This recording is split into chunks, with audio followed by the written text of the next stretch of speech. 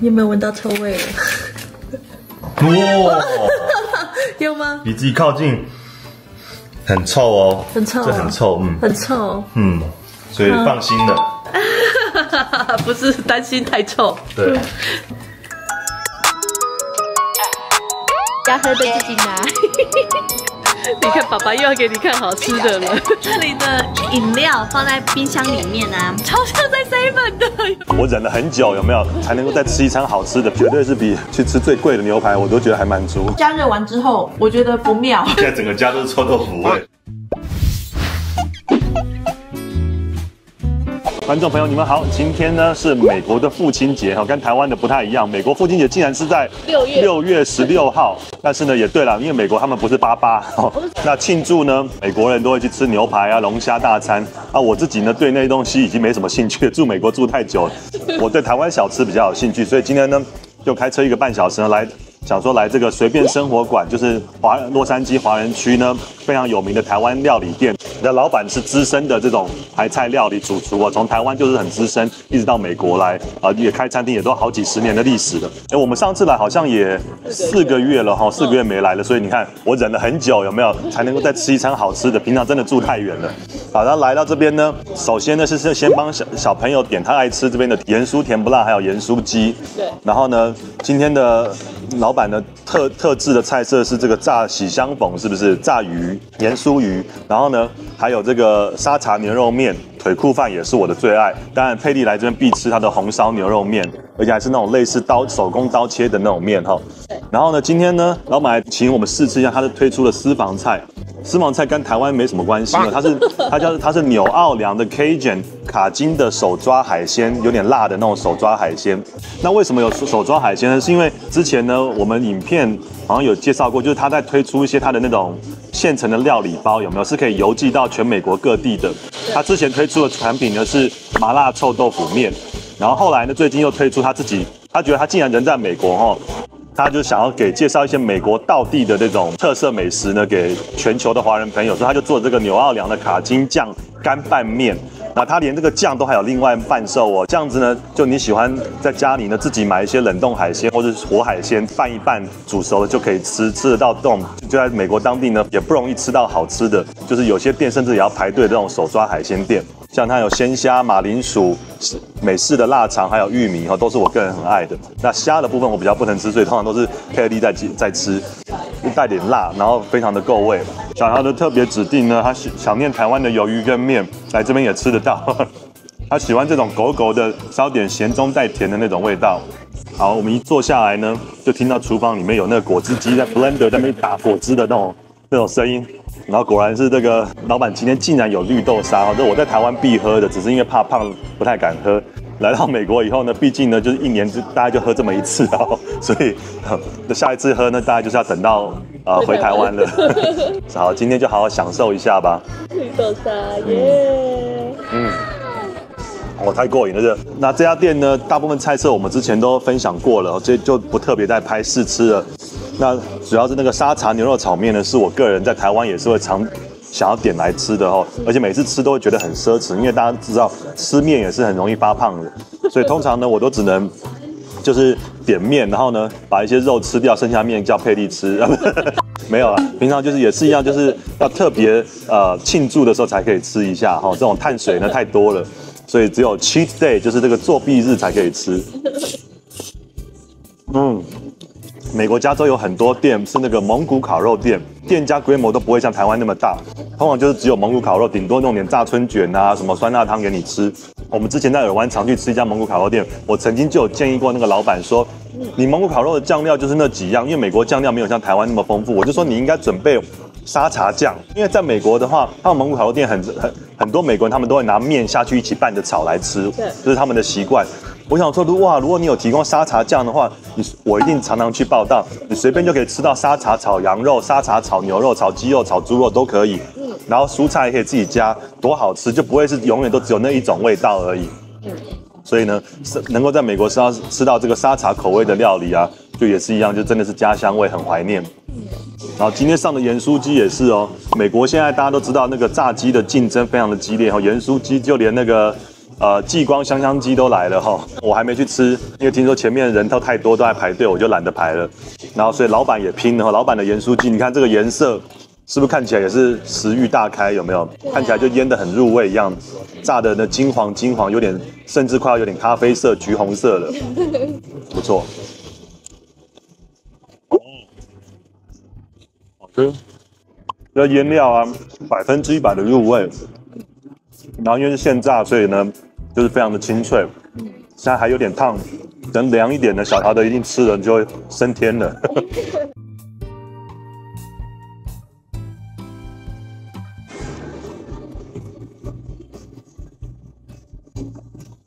嗯，而猪皮已经是卤到完全化开了，像吃果冻一样。嗯，哦，这绝对是比。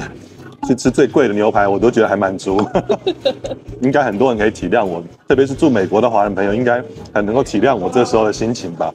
但是住在台湾的时候又不一样，住在台湾的时候，你就会觉得节日的时候就是要去吃牛排、吃龙虾、吃生鱼片，对不对？所以人真的是一个很、很那个很病态，而不是也不能讲病态，就是很奇怪的动物哈，就是物以稀为贵的感觉。得不到的比较好，得不到的永远都是比较好。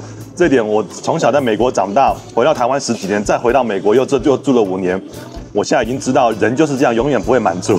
是说住在美国就觉得台湾好，住在台湾的时候觉得美国好，住在台湾的时候我就想念美国的汉堡，还有那个墨西哥辣牛肉酱。住在美国就每天想念台湾的小吃，真的是，唉，所以人还是这样子哈，就是只要多努力，每一年可以来来去去，这样是最幸福的。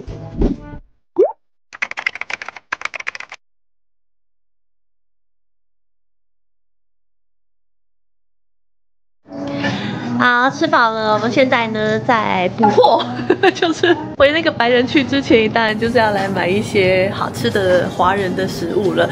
那我们现在呢在爱台湾富的实体店铺，我之前都有在网站上面会买他们的鹅啊煎粉，小涛都非常的喜欢。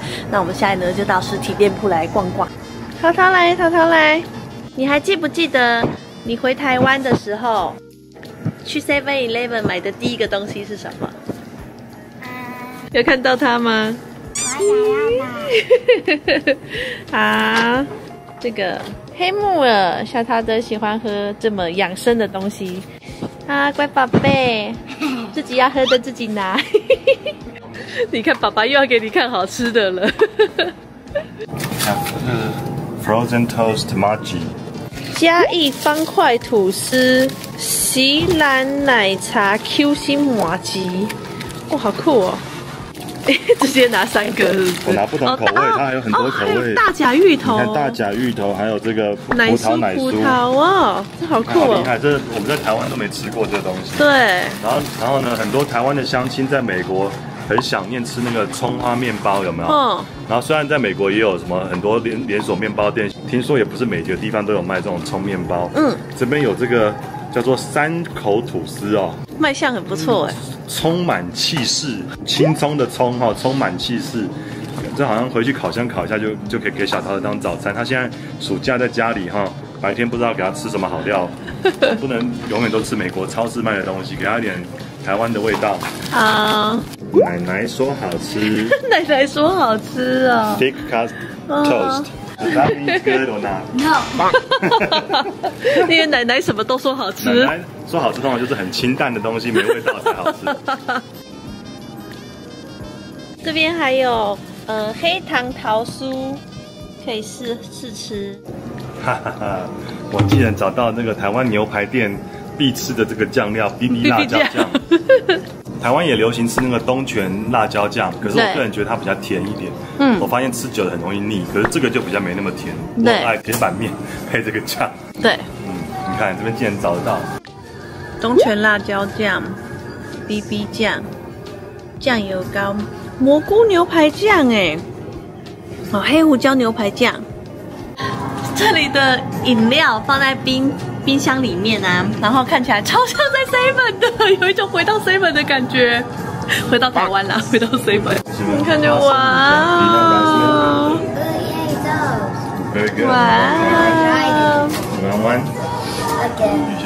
因为在美国啊，我们这里就算卖饮料，也都是那种开放式的大冰柜那种，就很少是把它们立起来，全部一瓶一瓶展示。然后，更何况我们通常都是去 Costco 啊、Sam's Club 那种一次买一箱的饮料，很少会这样子买一瓶一瓶的。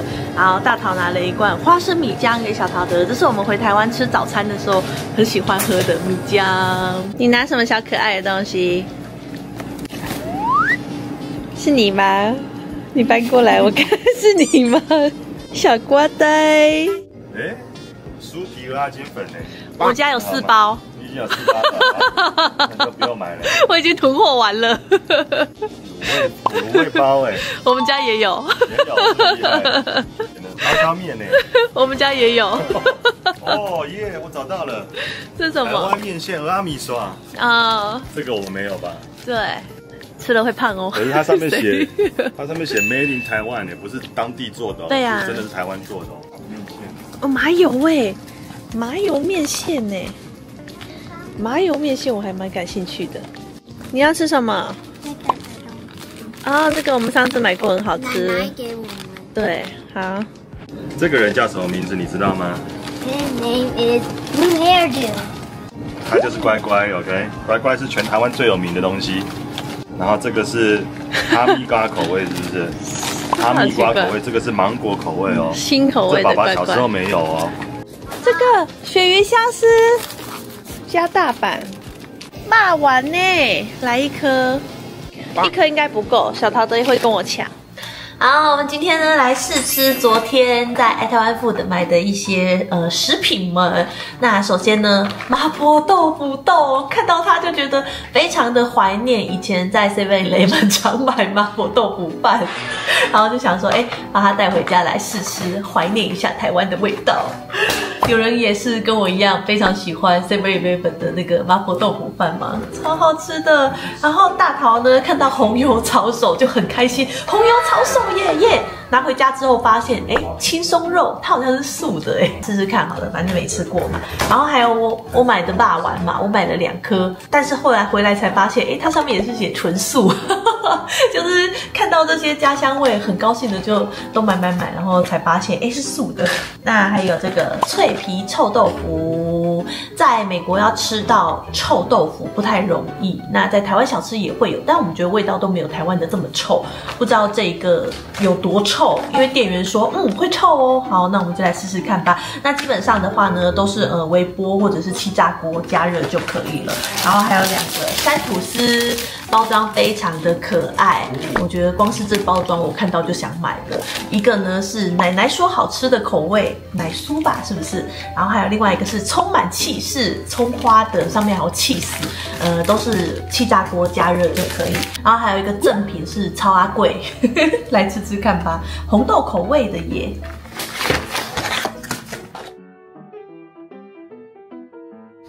然后打开之后长这样，是完全冷冻的状态。哎，饭饭在盒子上。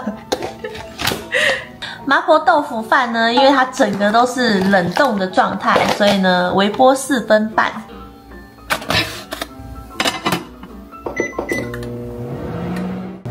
红油炒手，打开来长这样。骂完的酱，把丸在这里。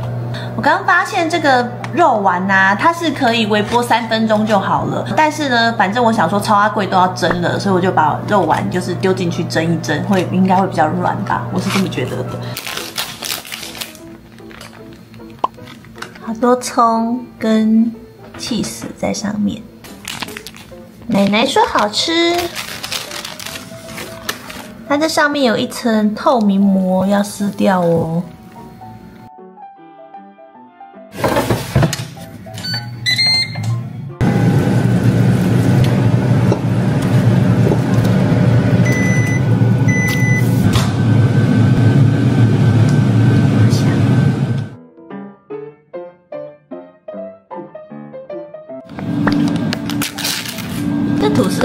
看起来好像就可以直接吃了，但我觉得加热一下会更好吃。好，红油炒手的酱稍微微波加热一下，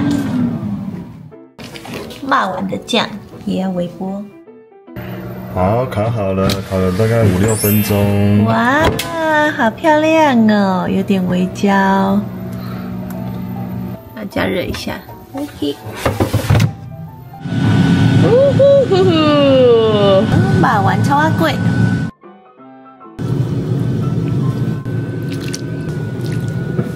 好，小桃都已经迫不及待想要试吃了，因为他早上呢，这次大桃帮他报的是那个篮球的 summer camp，他打了四个四个多小时，对不对？从九点到下午一点，有没有超累？嗯，满身都是汗，好厉害哦，你辛苦了，哈，赶快吃，好吃吗？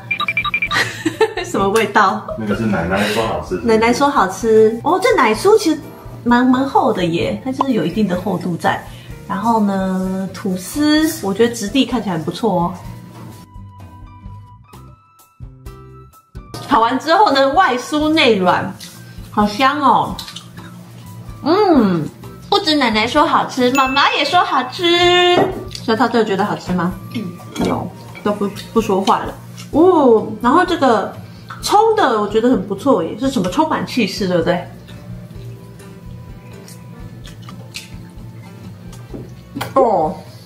葱味好重哦。嗯，有哎。其实不要看它表面看起来很像是披萨的造型，你吃进去的时候，你还是会觉得好像在吃我们那种古早味的葱花面包。妈妈小时候很喜欢吃葱花面包，你要试试看葱的吗？来一点咸的，嗯嗯，你比较喜欢哪一个？真的吗？我看你的表情，我以为你觉得嗯那个奶奶的比较好吃，这个好吃啊，那你先吃点咸的嘛。好，你先吃这个，然后接着呢？麻婆豆腐冻耶！但是它微波加热完之后，我觉得不妙。为什么我一看到它就觉得不妙呢？因为它竟然是冷冻豆腐哎，不是那种麻婆豆腐的嫩豆腐啊！冷冻豆腐感觉味道就不一样了，对不对？但是还是要吃吃看，毕竟味道很重要嘛。就是口味好吃的话，如果是冷冻豆腐还可以接受啦。嗯。够咸，可是我觉得这味道记忆中的不太一样哎。好，红油炒手呢，来吃一下看看喽。它是素肉的红油炒手，对不对？难怪我第一口下去就，咦，怎么口感跟平常差很多？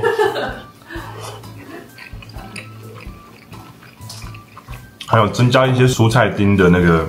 所以会有点脆脆的感觉，内馅呢，比如一般在外面吃的那种朋友炒手的馄饨呢，馅比较不会咸，就比较清淡一点。然后辣呢，酱料部分因为它并没有勾芡过，所以酱呢也比较没有那么的那个会附着在面那个面皮上面。所以呢，我猜想 vegetarian 的朋友们，他们可能是很重视健康，所以他们在吃这种料理的时候呢，都会比比较清淡的口味来为主。所以我觉得，就是如果是以这个为目标取向的话，我就觉得，哎，那品质做的还不错。皮啊，我们用用煮的嘛，所以还还蛮 Q 软的。脆皮臭豆腐打开之后呢，有八片豆臭豆腐，然后呢还有泡菜也，连泡菜都有给，然后跟酱包还有粉。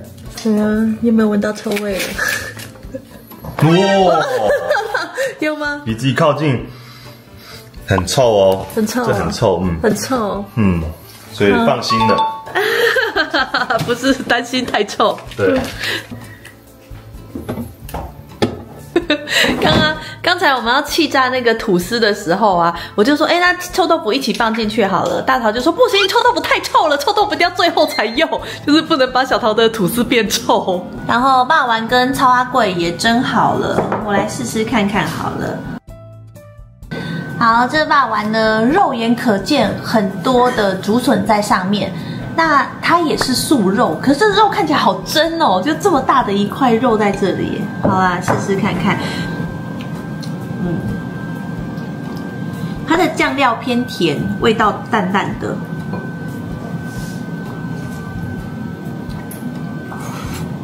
嗯。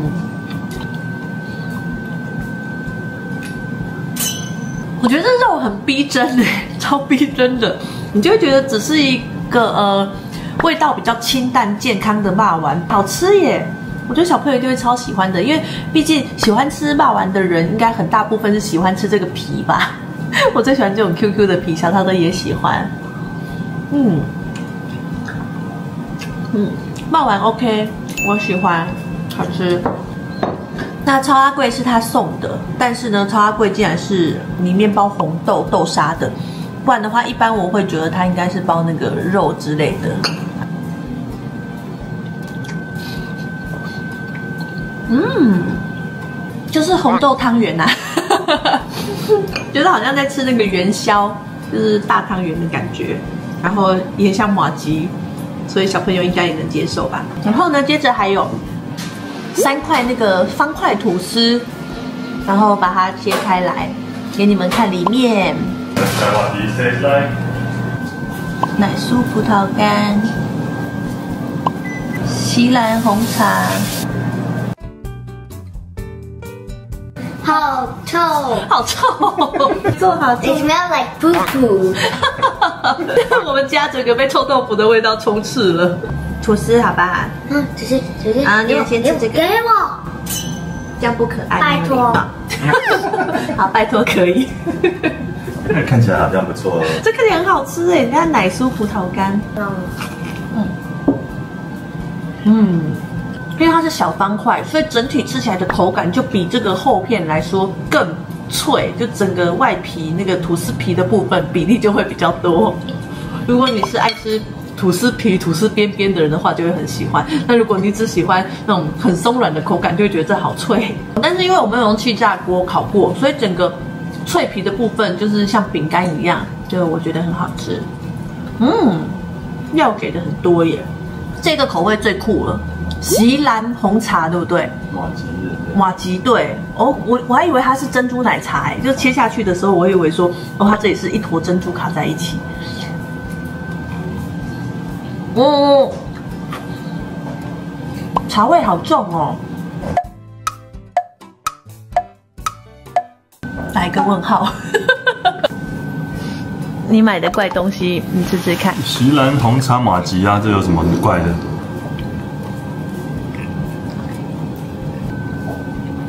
好吃啦，可是就是很奇特的味道。给它茶的内馅做的像卡士达一样，嗯，然后又加上马吉，所以蛮绵密的，很特别，对不对？对，蛮特别的。而且这这个大概只有微糖左右，我个人是还蛮喜欢这种甜度的，刚刚好，就是你可以吃得出来那个茶的味道，马吉的那个细腻的糯米该有的那个甜香甜味，就不会被过多的香精和那个糖给掩盖掉，所以还吃得到一点面包本身的那个香香气，所以我觉得这个。甜度来讲算是拿捏的非常好，难怪在台湾好像是团购的很有名的美食。那再给你芋头，你喜欢芋头，这个给我。芋头内馅也好很厚实哈，嗯，它就算是芋头，可是它里面是不是还加了一点什么黑糖的感觉？因为你的甜度就是比较偏正常的甜度，就不会特别的故意不甜。那芋头这个东西如果不够甜的话，你会吃到就是太浓郁，然后会有点干。但是这个芋泥它不会干，然后加了糖分，我觉得是刚刚好。好，那甜度蛮天然的，嗯，好臭哦，超厉害的，你秒回台湾了。臭味道没有厉害。臭味道很厉害，小朋友不懂欣赏。在家里哈，在家里不要自己炸哈。你这时候刚好有什么外送员进来，一打开门说：“哎，送包裹。”要是美国人的话，送包裹一定会被熏死，现在整个家都是臭豆腐味。对，好，我要酱汁调一下。好，然后就是这个酱汁基底，对不对？嗯，先倒多一点，这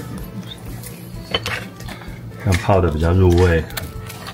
辣的，嗯，反正小朋友不吃，我们就直接加辣了哈。好。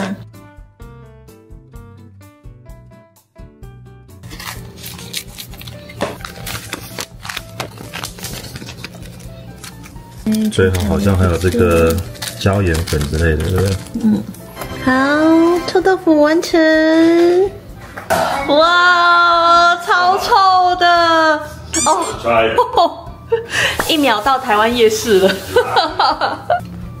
我要选一个泡的最多酱汁的。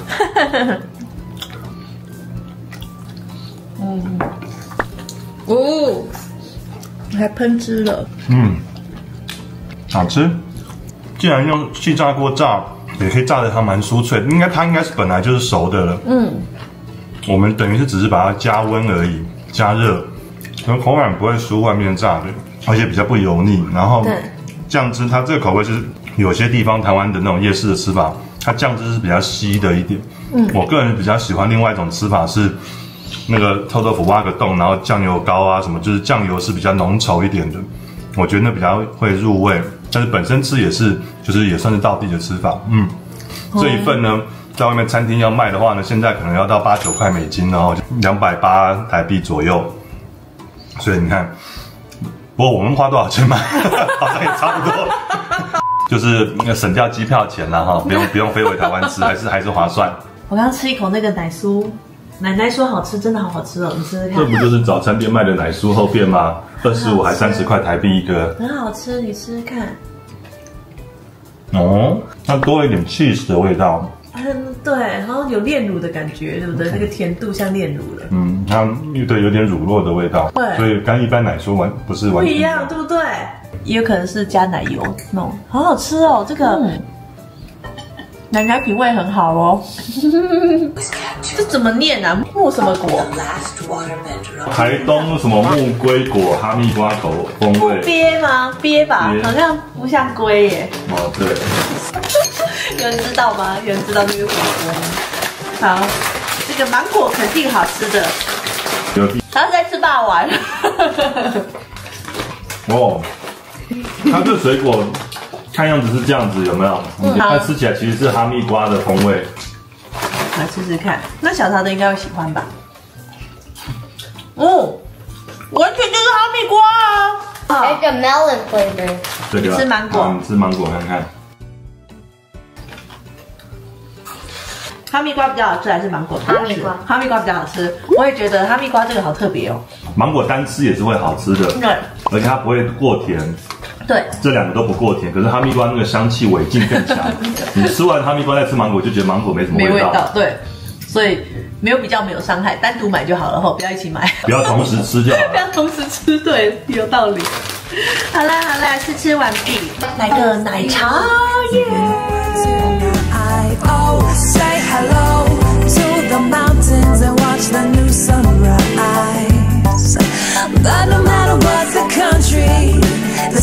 the street, by land or by sea, together forever is my favorite place to be.